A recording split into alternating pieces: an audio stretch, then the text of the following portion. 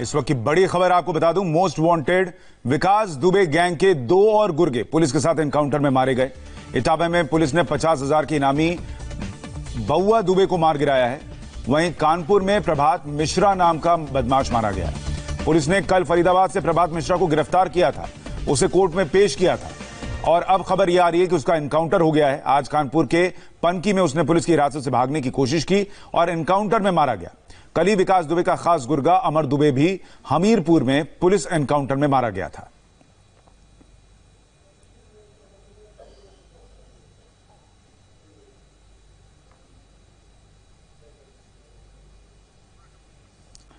बड़ी खबर यह आ रही है बउआ दुबे ढेर हो गया है और प्रभात मिश्रा, जिसकी तस्वीर हम आपको कल लगातार दिखा रहे थे, उसे कोर्ट में पेश किया गया था, उसकी तस्वीरें हमने आपको दिखाई थी, उसकी कस्टडी मांगी गई थी, और अब जानकारी मिल रही है कि पुलिस कस्टडी से उसने भागने की कोशिश की, और उसी में उसका एनकाउंटर कर दिया गया।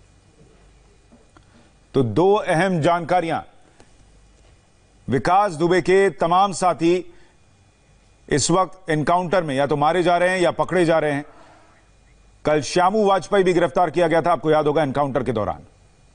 एक और छोटे से ब्रेक के लिए रुक रहे हैं। ब्रेक के बाद देखिए, कश्मीर में किसने की बीजेपी नेता की हत्या।